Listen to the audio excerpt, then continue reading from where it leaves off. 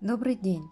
Сегодня мы предлагаем вам немного углубиться в историю Чехии и расскажем о выдающейся женщине, чье имя не забыто и сегодня. Анишка Чешская, святая Агнеса или Анна Чешская, была дочерью короля Пжемысла Атакара I. Ее сватали то за английского короля, то за немецкого императора, но Анишка осталась вечной невестой и посвятила жизнь богослужению. Она основала в Праге женский монастырь кларисинок и мужской францисканский монастырь уделяла большое внимание благотворительности и построила больницу для бедных. Считается основательницей Ордена Крестоносцев с Красной Звездой.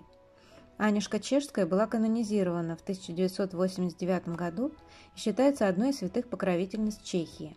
Ранее ее портрет можно было увидеть на купюре номиналом 50 крон.